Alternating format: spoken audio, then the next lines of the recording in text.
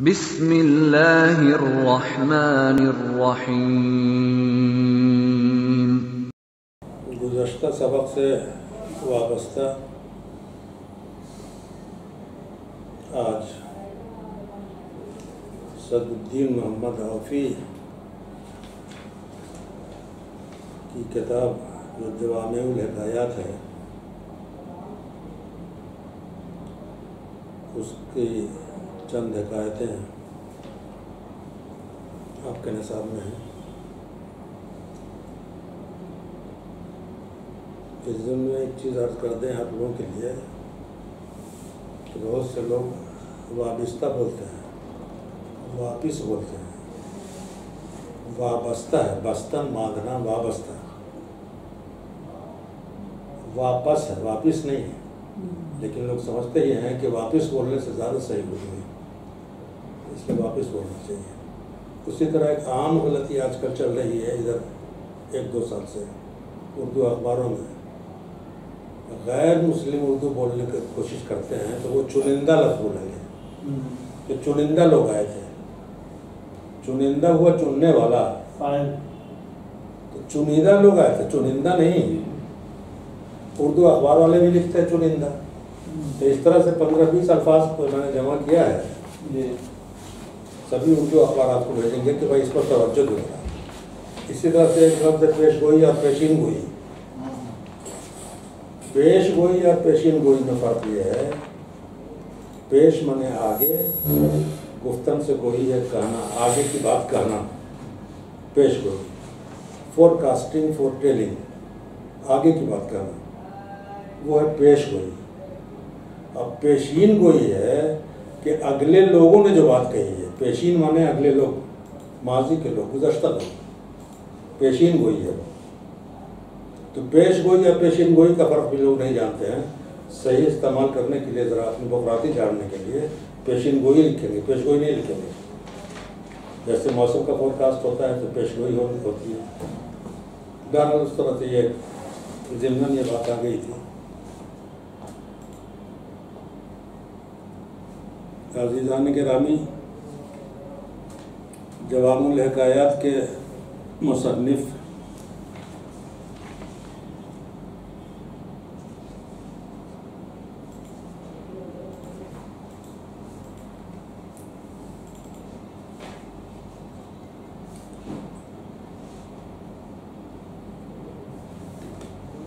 अब्दुलरहमान बिन of रहमतुल्लाह की नस्ल से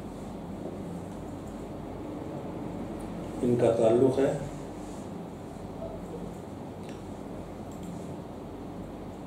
इन्होंने अब्दुलरहमान बिन रहमतुल्लाह अलैह बहुत ही मोतबर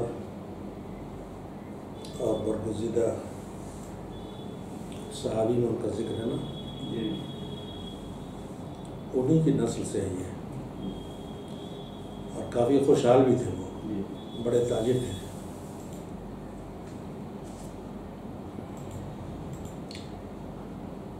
जवाब लकायात की चंद खूबियों में खूबी ये है कि इसमें अरबी अल्फाज का इस्तेमाल कम से कम हुआ है। दूसरी खूबी ये है कि अल्फाज भी सादा हैं और इनके जुमले भी बहुत ही सादा लिहाजा तर्ज बयान या उसलूब की सादगी और सरासत की वजह से इसकी दिलकशी और दिलचस्पी में इजाफ़ा हो गया है। इनकी एक और किताब है, लुबाबुल अलबाब।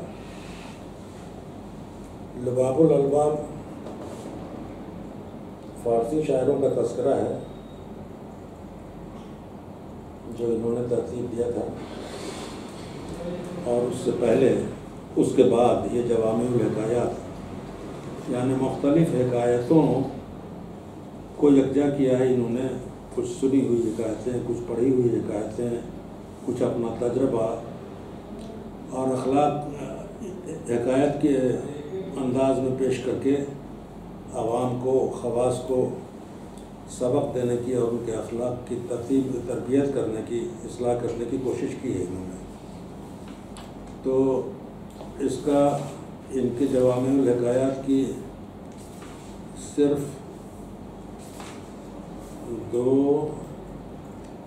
चंद हकायतें हैं इस किताब में आई हैं।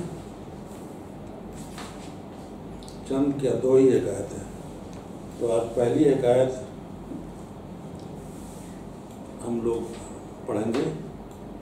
दराद अमीरमिन अब्दुल्ला बिन मोहम्मद बिन अली बिन अब्दुल्ला अब्बास रज़ी अल्लाह के अव्वल खलीफा हुए अज बनी अब्बास, ज़िंदगी बेआमद गुफ्त।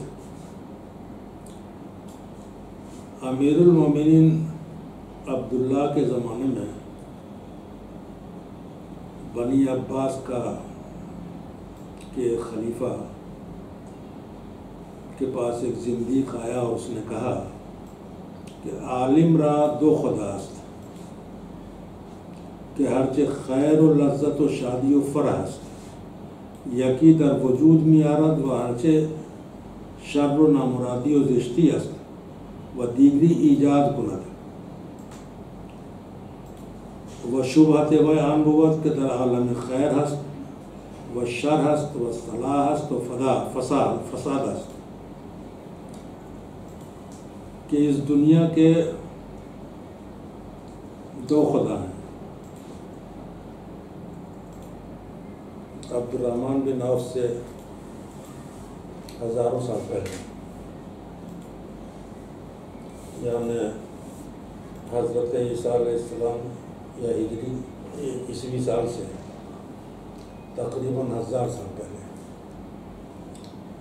ईरान के शमाली इलाके में पैगंबर का जहूर हुआ। जरतुश्त का। जरतुश्त भी कहते हैं, जरदुश्त भी कहते हैं, जरदस्त भी करते हैं, ज़रादस्त भी कहते हैं, इनका नाम इस तरह से। उन्होंने जो मज़हब का एक तस्वुर पेश किया आवाम के सामने। उसमें दो खुदाओं का ज़िक्र किया उन्होंने। एक खुदा खैर है, एक खुदा शर है। खुदा खैर को अहूरा मिजदा कहते हैं और खुदा शर को अरीमन कहते हैं। ये दो खुदाओं का तस्वुर उन्होंने पेश किया था। खुदा खैर यानी अहूरा मिजदा तमाम नेकियों, अच्छाइयों, गुड एक्शंस वैल्यूज़ वर्चूज़ उसको कंट्रोल करते हैं। और जितनी बुराइयाँ हैं, ख़राबियाँ हैं, शर फसाद है दुनिया में, उसको कंट्रोल करने वाला एक दूसरा खुदा अहरीमन है। फिर इज़्ज़त, ये अबूरा मिजदा के नीचे छः मोतबर फरिश्ते हैं। उन छः के नीचे भी फिर कुछ और फरिश्ते हैं छोटे छोटे जो मुख्तलिफ़ कामों पर सबकी ड्यूटी लगी हुई है, मामूर है। उसी तरह से हरीमन की फ़ौज में भी छः बड़े बड़े इमशास पिंदान हैं।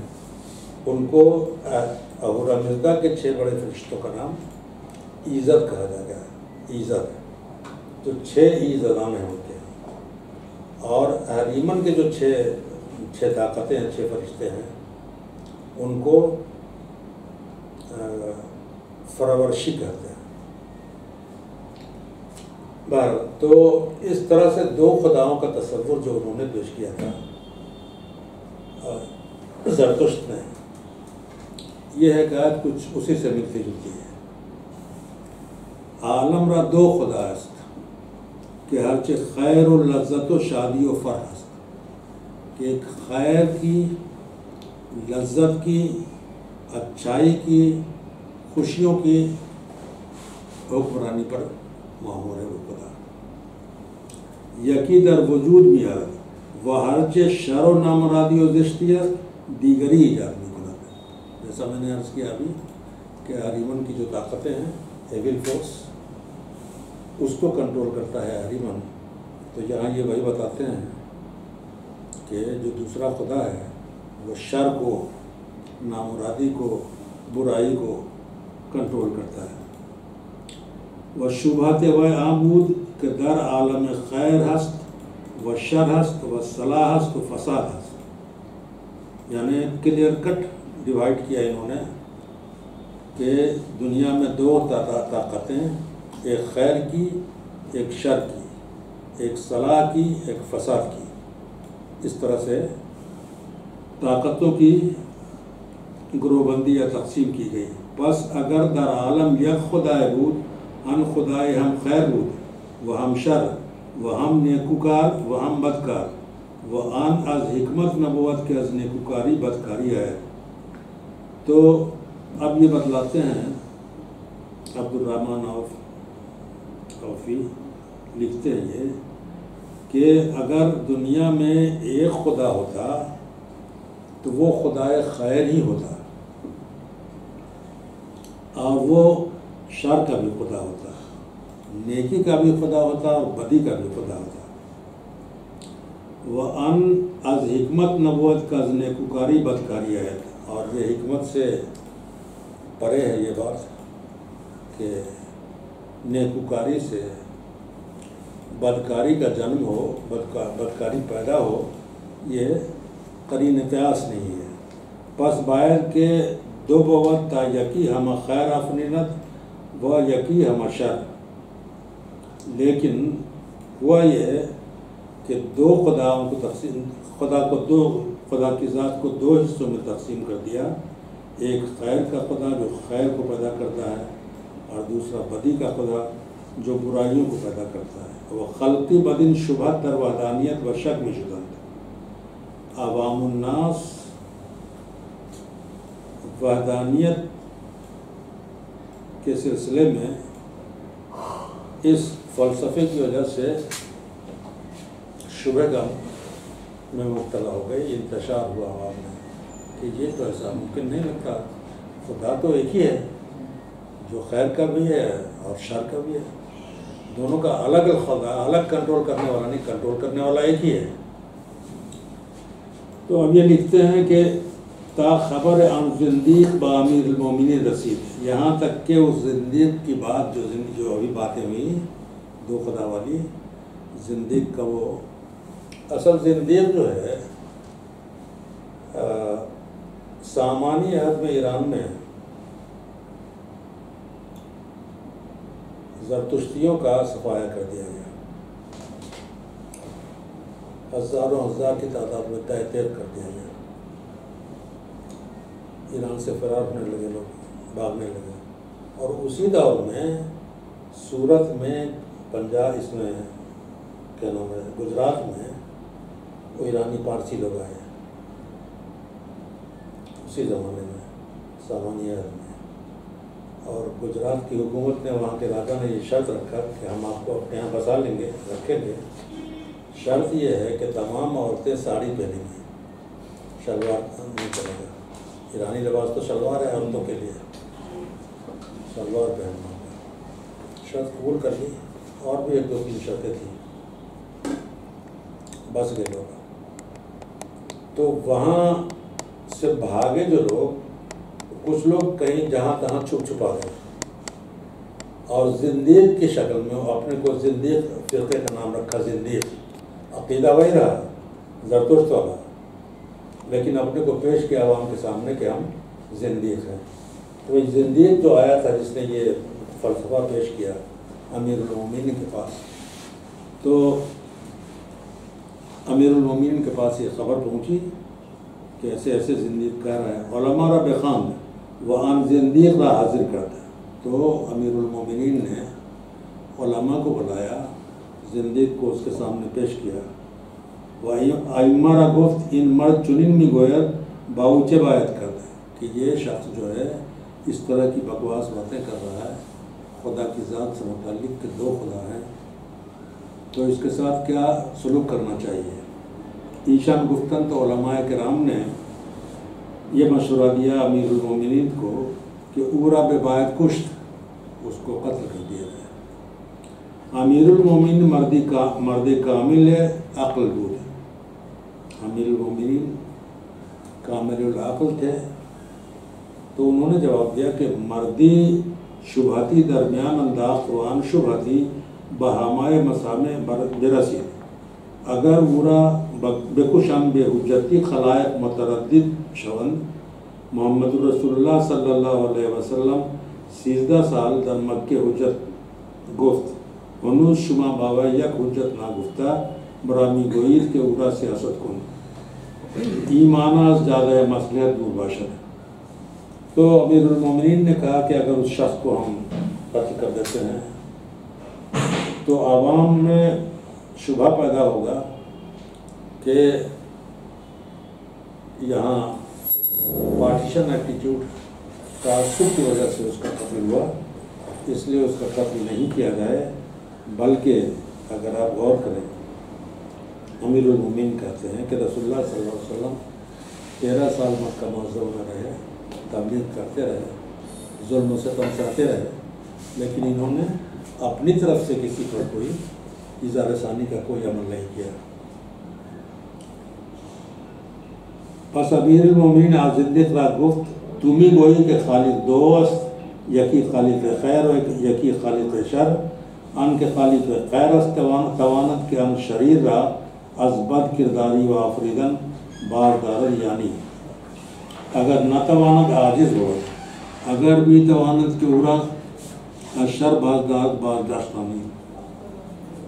अशर बाजदार बारदाश्तानी कितना हुआ दो चार मिनट बढ़िएगा तो क्या तो अमीरमिन ने उनसे कहा ज़िंदगी को कहा कि तू कहता है कि खास दो खालिक हैं। एक खालिक खैर, और दूसरा खालिक शर।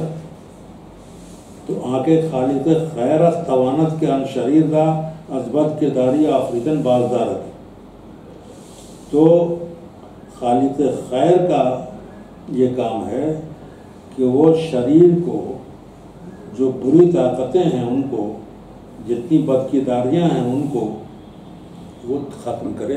ये खालिद खैर की ज़िम्मेदारी है। अगर नतवाना गाजिज बवत वो अगर मी तवानत के अजू और शर बाजदारत बाजदाश्त यानी अगर वो खुदा बदी को, शर को, फसाद को ख़त्म करने की सलाहियत नहीं रखता। तो फिर तुम दो जो चाहो करो।